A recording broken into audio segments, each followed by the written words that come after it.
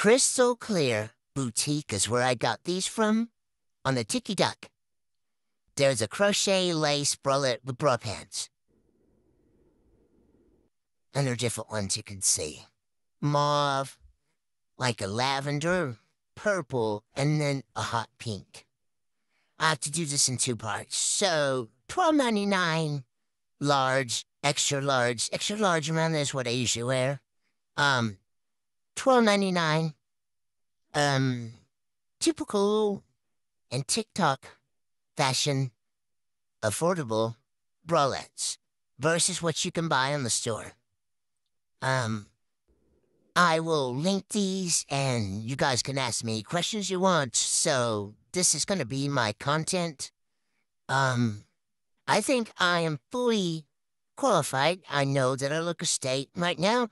I'm off day, so I'm in my pajamas and hanging out and having cocktails.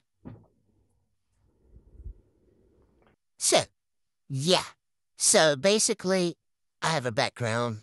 I lived in London and I used to work in fashion, so I know I don't look like it, but I have tons of clothes. I have stuff in stores, so. So yeah, um, I discovered TikTok, just like with a lot of women, TikTok shop, and I buy stuff on TikTok. And before you should buy Amazon. Before that, uh, before I lived in London and bought everything locally, I never hardly ordered anything online except for a company called Next. Um, most everything I ordered was in shop, my credit cards. Um, and then I worked for New Look, so I got, every time I sold a credit card I used to get, which called Funny Money, and you get half off anyway. So I had a closet full of clothes. I had so much stuff, it's unreal. That's another story if you wanted to know. So, um, yeah, I'm 59 and I don't act 59 or don't look 59. This is me with no filter, just plain old old lady tired, and crazy here. So yeah, back to what I was saying.